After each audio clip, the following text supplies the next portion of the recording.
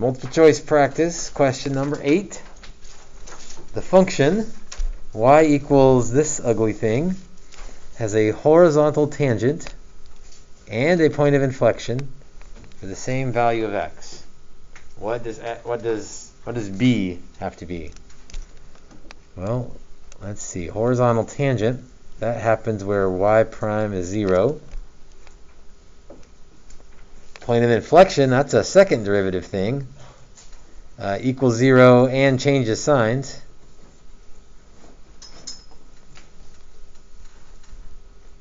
Uh, could be undefined and changes signs, but this is a polynomial, so it's not going to be undefined. By the way, that gets you maybe not quite half credit, but at least some partial credit. Not on the AP test, but in the test in here. Like if you wrote that out, if you made it that far, I would give you some credit because now you're, you know, you've shown some calculus knowledge here.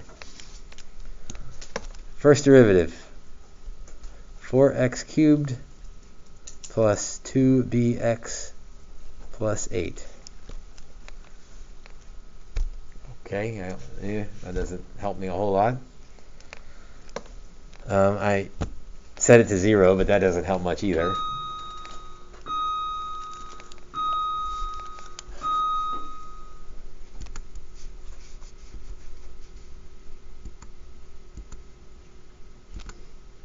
Stop and take attendance, right? do the important stuff. All right, back to number eight.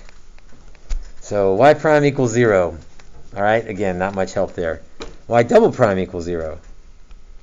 So 12x squared plus 2b equals zero. Okay, that's a that's a little more helpful, and just because there's less stuff there.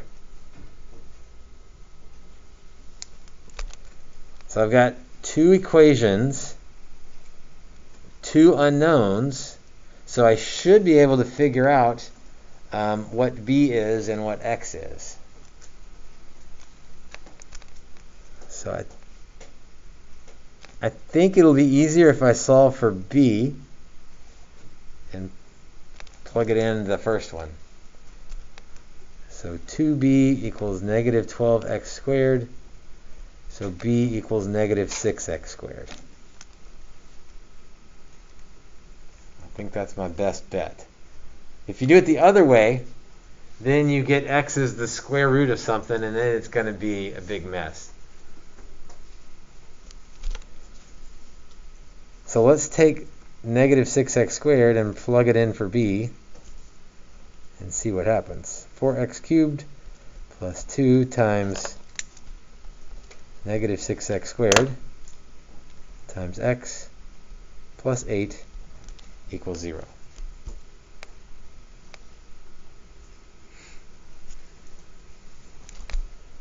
Four x cubed minus 12x cubed plus 8 equals 0. Oh, I'm, I'm peeking ahead. I'm seeing a this is typical of AP type questions. They look hard and then stuff starts happening and things kind of work out in your favor here. Negative 8x cubed plus 8 equals 0. Smooth things around a little bit. 8x cubed equals 8. So x cubed equals 1, so x equals 1. Although be careful. Tempted to answer uh, C, but why why would C not be the correct answer here? We're looking for the value of B. So, uh, as always, go back and reread the question. Make sure you answer the right question. What must be the value of B? Um, well, we said B is equal to negative 6 times x squared.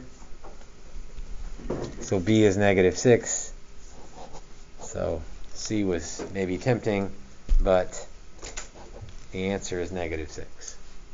B is equal to negative 6.